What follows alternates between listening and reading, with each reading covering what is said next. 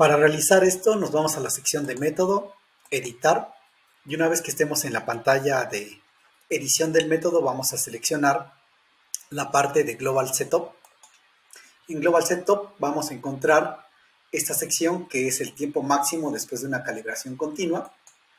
La norma indica que deben ser 12 horas.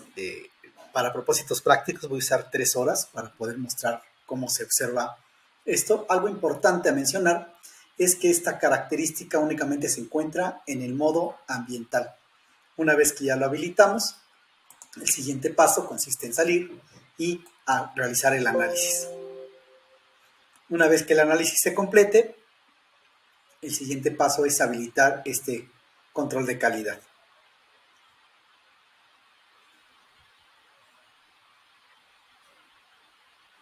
Para evitar el control de calidad nos vamos a la sección de los banderines y seleccionamos el tiempo después de la calibración continua.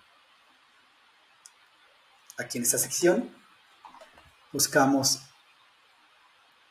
tiempo de calibración.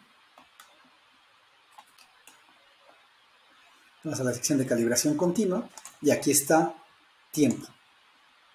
Y pedimos que nos lo muestre importante. Le damos OK y observamos que se iluminan en rojo aquellos eh, muestras que pasaron más de tres horas o de lo que hayamos establecido en nuestro método después de que ocurrió la calibración continua.